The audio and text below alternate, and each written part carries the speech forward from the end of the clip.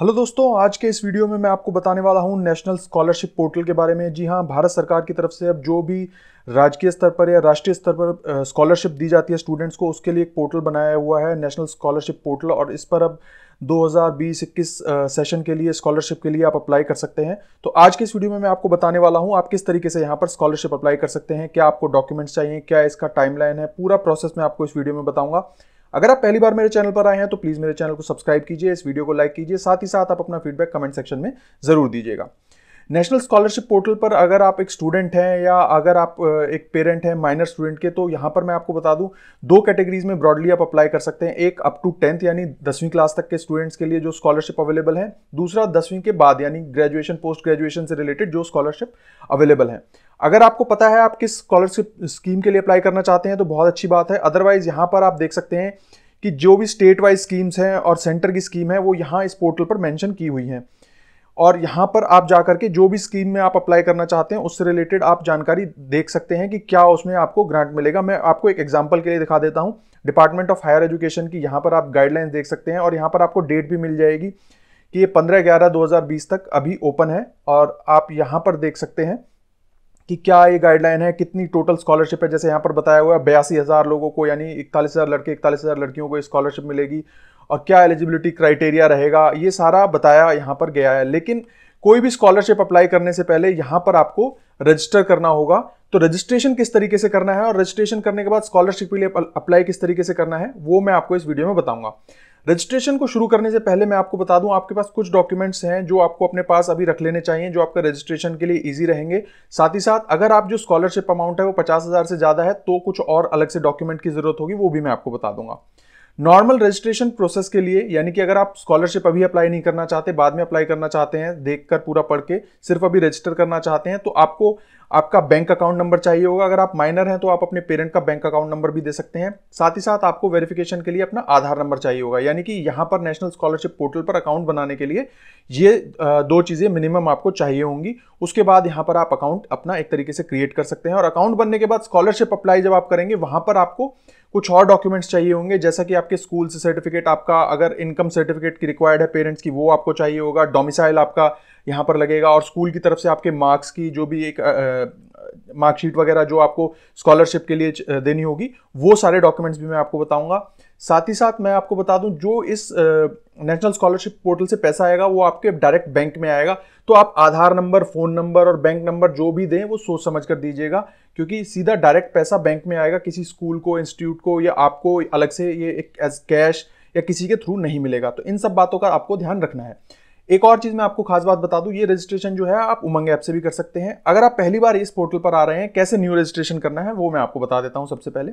यहाँ आपको new registration पर क्लिक करना होगा। न्यू रजिस्ट्रेशन पर क्लिक करने को यहाँ आपको डेट ऑफ़ बर्थ वगैरह, ये सारी चीज़ें स्टेट ऑफ़ डोमिसाइल यानी आपके स्टेट का आपके पास परमानेंट एड्रेस है।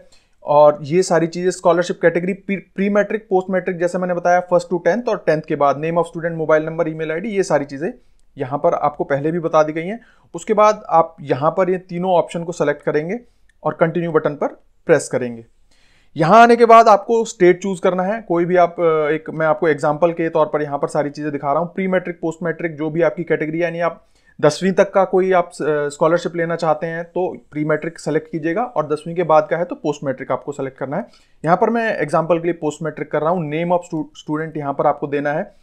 स्कीम टाइप, स्कॉलरशिप स्कीम, यहाँ पर या इंसेंटिव स्कीम है डेट ऑफ़ बर्थ आपको देना है। आपको यहाँ ध्यान रखना है नेम और डेट ऑफ़ बर्थ जो आप, आपके आधार कार्ड पर हो, वो ही दें तो बेहतर होगा।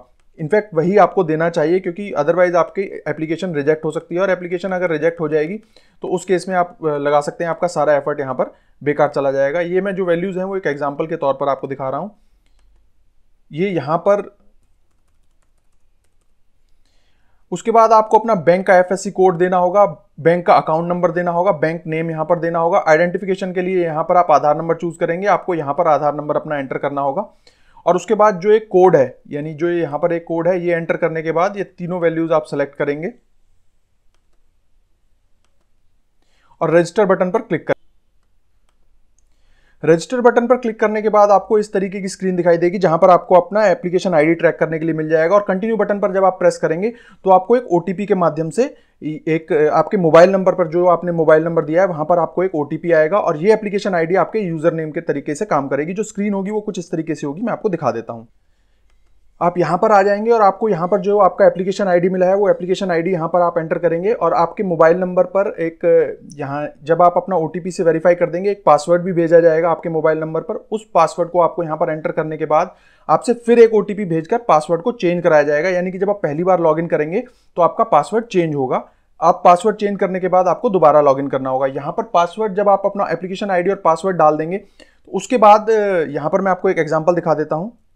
जब आप एप्लीकेशन फॉर्म पर क्लिक करेंगे तो यहाँ आपको ऊपर कुछ अपनी बेसिक जानकारी देनी होगी, जैसे आपका रिलीजन आपकी एनुअल इनकम मदर फादर का नाम और बाकी सारी जानकारी जो कि अभी मैंने हाइड कर दी है। उसके अलावा यहाँ पर आपको अपना इंस्टीट्यूट सेलेक्ट करना होगा। आप अपना इंस्टीट्यूट यहाँ देख सकते हैं, इस तरीके से आप सेलेक्ट कर सकते हैं। आप स्टेट और डिस्ट्रिक्ट में जाकर इंस्टीट्यूट सेलेक्ट कर सकते हैं। मैं आपको एक एग्ज़ाम्पल दिखा देता हूँ।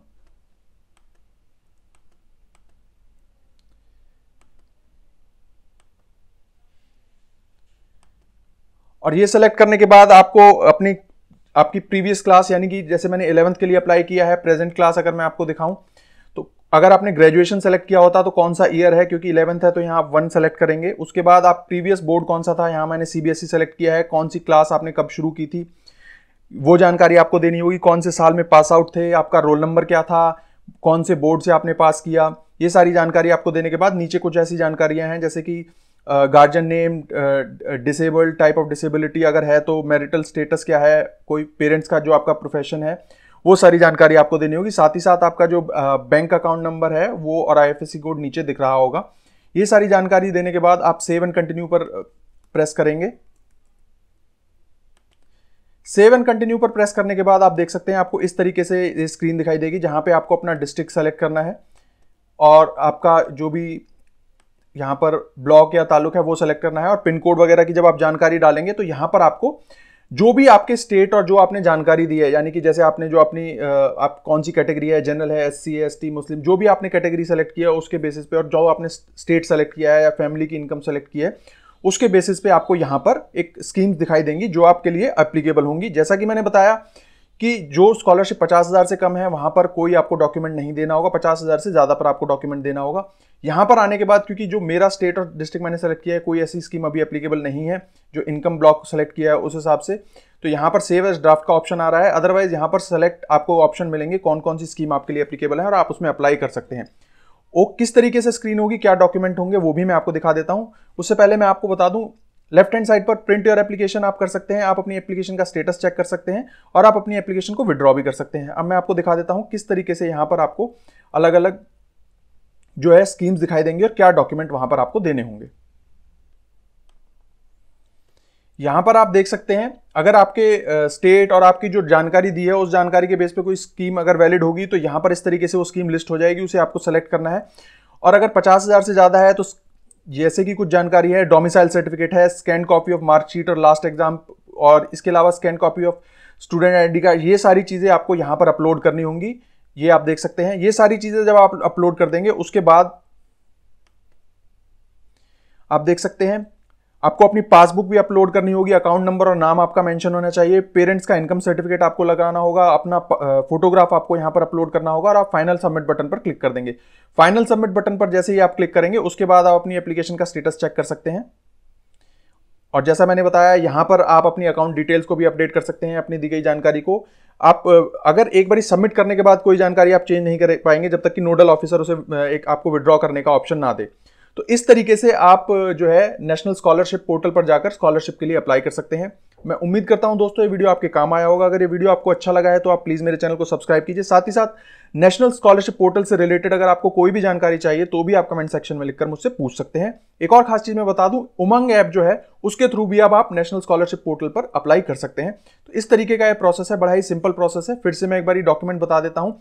अगर आप सिर्फ़ रजिस्ट्रेशन कर रहे हैं तो आपके पास आपके बैंक अकाउंट की डिटेल और आपका आधार नंबर होना चाहिए। अगर आप स्कॉलरशिप अप्लाई करना चाहते हैं तो उस केस में आपके पास जो यहाँ पर डॉक्यूमेंट लिस्टेड है, यानी domicile certificate scan copy of marksheet होनी चाहिए इनकम सर्टिफिकेट होना चाहिए पेरेंट्स का।